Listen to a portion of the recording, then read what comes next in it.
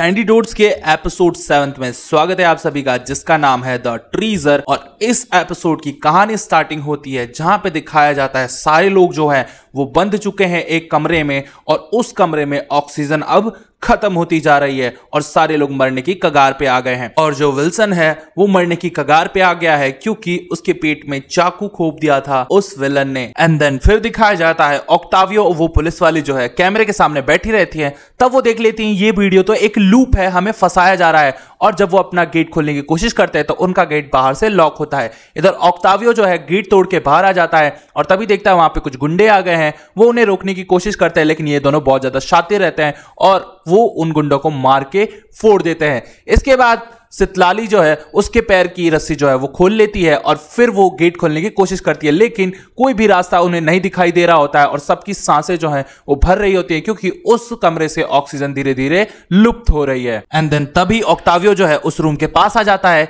इधर सितलाली जो है, एक प्लेट लेके उस गेट को खोलने की कोशिश करती है और ऑक्टावियो उस गेट को खोल देता है। तभी सारे लोग बहुत ज़्यादा खांस रहे होते हैं और फिर वो लोग उठते हैं। इसके बाद विल को भी उठाते हैं। विल्सन जो है, अभी मरा नहीं है, वो अभी होश में था। और इसके बाद मिगैल बोलता है कि, चलो तुम्हें हॉस्पिटल लेके चलता हूँ। फिर दिखाया जाता है, एरियल को, एरियल जो है, जिसके पैर में गोली लगी है, ऑक्टावियो बोलता है, इसको यहीं छोड़ देते हैं, लेकिन मिगैल बोलता है, उसे खोल दो और वो भी हमारे साथ जाएगा। अब ये लोग साथ में निकलते हैं। विल्सन जो है, वो रोकता है मिगैल को और कहता है, देख, मुझे कैंसर है और मैं हॉस्पिटल के बेड पे नहीं मरना चाहता। इसलिए वो बोलता है कि, तू मेरे को अपने साथ ले चल और हमें उन गुंडों से पहले खजाने तक पहुँचना पड़ेगा। तब ये लोग सारे बूट में बैठ के चले जाते हैं, क्योंकि वो जो खजाना है, वो पानी के अंदर है। इसके बाद वो लोग जा रहे होते हैं, तभी विल्सन जो है, अब मरने के कगार पे आ गया है। वो सबसे बातें कर रहा होता है। वो लिली को पास में बुलाता है और लिली को एक पासपोर्ट देता है, क्योंकि लिली बोलती है कि कुछ लोग मेरे पीछे पड़े हुए थे, इसलिए आप मेरे को एक पासपोर्ट दे दो और विल्सन उसे मैक्सिकन पासपोर्ट बना के दे देता है। तभी वहाँ पे आता है मिगेल और मिगेल उससे बातें करने लग जाता है और कहता है कि तू जा नहीं सकता हमें छोड़ के और हम खजाना लूटेंगे साथ में और तुम्हारा इलाज करवाएँगे। इसके बाद विल्सन जो है वो बाहर बैठ जाता है और वो मिगेल को कहता है कि तू मेरे को एक सिगरेट पिला दे। फिर ये लोग बातें करने लग जाते हैं। विल्सन बोलता है कि तू खजाने के बहुत ज़्यादा करीब है तो देख तू जल्दी से खजाना लूट ले और फिर अमीर हो जा और फिर अपने बाप को अच्छी जगह पे रखना और उसका इलाज कराना। इसके बाद विल्सन जो है वो मर जाता है और मिगेल बहुत ज़्यादा रोता है। यहाँ सारे लोग बहुत ज़्यादा रो रहे होते हैं और इसके बाद वो लोग विल्सन के लिए एक गाना भी गाते हैं और जो बॉडी होती है विल्सन की, वो उसी समंदर में फेंक देते हैं और कहते हैं कि, विल्सन, ये शाम तुम्हारे नाम। इसके बाद होता यह है, मिगेल जो है अपना नक्शा देख रहा होता है और वो नक्शे को आसमान की तरफ़ उठाता है और देखता है कि सितारे जो है, वो नक्शे से मैच कर रहे हैं। हमारा लूकस जो है, वो एक ट्रैकर फिक्स करता है। जब खजाना डूबा होगा। उस समय सितारों की जो टाइमिंग थी, वो कहाँ पे थी? इसके बाद लिली बोलती है, हमें कोई फ़र्क नहीं पड़ता। और फिर लुकस बोलता है, देखो, ये खजाना यही होगा। और ऑक्टावियो बोलता है, ये बिल्कुल गलत हो सकता है, क्योंकि इतना बड़ा शिप इस पानी में और इस जगह पे कैसे होगा? मेगाल बोलता है, जिसने खजाना छुपाया था, वो नहीं चाहता था कि उसके खजाने की तलाशी हो, इसलिए उसने ऐसा रास्ता चुना जो मुश्किल था, और तभी उसी मुश्किल रास्ते पर उसकी शिप डूब गई और उसका खजाना भी डूब गया। तब सारे लोग खुश हो जाते हैं और वहाँ पे पुलिस वाली एक ट्रैकर देखती है। वो बोलती है कि, पुलिस वाले हमारे पीछे हैं और मैं तुम्हें डराना तो नहीं चाहती हूँ। लेकिन ऑक्टावियो बोलता है, ये बहुत ज़्यादा दूर है हमारे से और हम ही पहले पहुँचेंगे। सितलाली बोलती है, हम सेलिब्रेट कर सकते हैं ना और सब खुश हो जाते हैं। इसके बाद वो लूकस और सितलाली को छोड़ के चले जाते हैं। इधर सितलाली बोलती है कि चलो भाई, थोड़ा रोमांटिक शोमेंटिक होते हैं और थोड़ा फन करते हैं। इधर लूकस और सितलाली बहुत ज़्यादा फन करते हैं और लिली और मिगेल भी, इसके साथ साथ वो पुलिस वाली और ऑक्टावियो भी। तो सब कुछ सही चल रहा होता है और तभी हो जाती है सुबह। एंड देन ये लोग पहुँच जाते हैं उसी जगह पे, फिर ये लोग सितलाली को कॉस्ट्यूम पहनाते हैं और बोलते हैं, जा, जलपरी, जाके खजाना ढूंढ के ला। और सितलाली अंदर जाती है और वो बताती है कि संदूक है इसमें।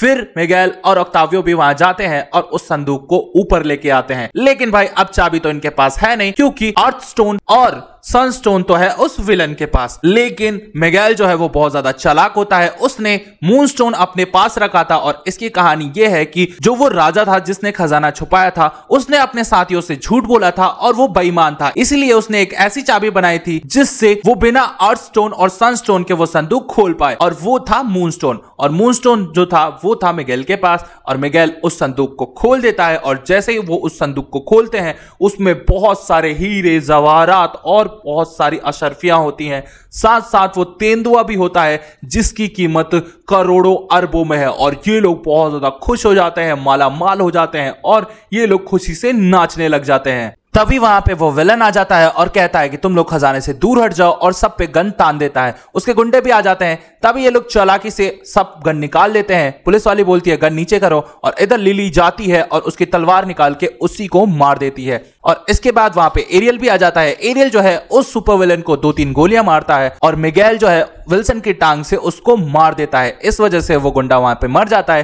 तभी एरियल आता है और कहता है कि तुम लोग खजाने से हट जाओ। ये मेरे म्यूज़ियम में जाएगा। तभी ऑक्टावियो बोलता है कि क्यों ना तुझे मार के हम ये खजाना ले जाएँ, तेरे से पहले और इसके बाद एरियल कहता है कि देखो, पुलिस यहाँ पे आती होगी, इतनी तो पहुँच है मेरी। लेकिन फिर एरियल बोलता है, चलो, कोई बात नहीं, वो तेंदुआ मुझे दे दो, ताकि मैक्सिकन जो है, वो मेरे म्यूज़ियम में आए और मेरे म्यूज़ियम का नाम हो जाए। और ये खजाना जो है, वो तुम रख लो, मुझे नहीं चाहिए सोना वोना और इसके बाद वो देखते हैं कि तेंदुआ है कहाँ। तभी दिखाया जाता है, लिली जो है, वो तेंदुआ लेके भाग रही होती है। और मिगेल बोलता है कि, लिली, तुम ऐसा नहीं कर सकती, तुमने मुझे फिर से धोखा दिया। लिली बोलती है कि, ऐसा कुछ भी नहीं है, मैं ये तेंदुआ ले जा रही हूँ। और तभी मिगेल पुलिस वाले की गन छीन लेता है और कहता है कि तुम अगर रुकी नहीं तो मैं तुम्हें गोली मार दूँगा। लिली भी गन निकाल लेती है और कहती है कि तुम तो गोली मुझे चला नहीं सकते क्योंकि तुम मुझसे प्यार करते हो, लेकिन मैं ज़रूर चलाऊँगी। और इसी वजह से मिगेल जो है, लिली को शूट कर देता है और लिली जो है वो पानी में गिर जाती है और लिली वहीं मर जाती है। इसके बाद होता ही है, वो तेंदुआ जो है, एरियल के म्यूज़ियम में पहुँच जाता है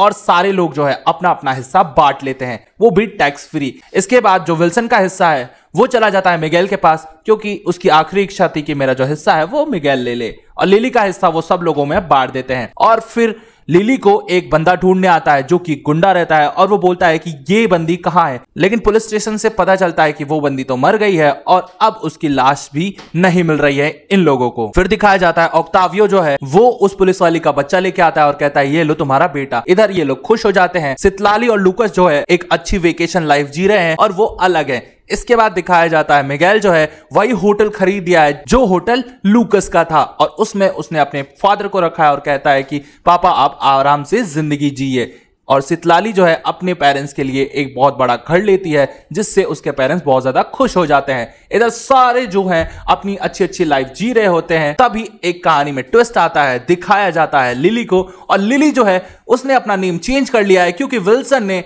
उसके लिए एक नकली पासपोर्ट बनाया था और लिली को मरना बहुत ज़्यादा ज़रूरी था, तभी तो दूसरी लिली पैदा होती और इधर मिलता है मिगेल लिली से और कहता है कि चलिए मैडम, आपको लॉन्ग ड्राइव पे ले चलता हूँ। ये लोग लॉन्ग ड्राइव पे जाते हैं और लिली कहती है कि एक बात बताऊँ, अगर हमारे पैसे खत्म हो गए ना तो तुम अपने रास्ते और मैं अपने रास्ते। लेकिन मिगेल बोलता है, तुमने टीयर ऑफ़ फायर के बारे में सुनना है? एक ऐसा खजाना जिसे किसी ने भी नहीं देखा है और लिली खुश हो जाती है कि तुम नहीं सुधरोगे। और ये सेवंथ एपिसोड है बैंडी रोड्स का, ये खत्म हो जाता है, ये फाइनल एपिसोड था तो आई होप आपको ये वेब सीरीज़ अच्छी लगी होगी, और अच्छी लगी होगी तो प्लीज़ मेरे चैनल को सब्सक्राइब कर लीजिए, और इसकी प्लेलिस्ट आ रही है, अगर आपने इसके रिमेनिंग एपिसोड्स नहीं देखे होंगे तो वहाँ क्लिक करके आप इस वेब सीरीज़ को एंजॉय कर सकते हैं। तब तक के लिए tata bye bye see you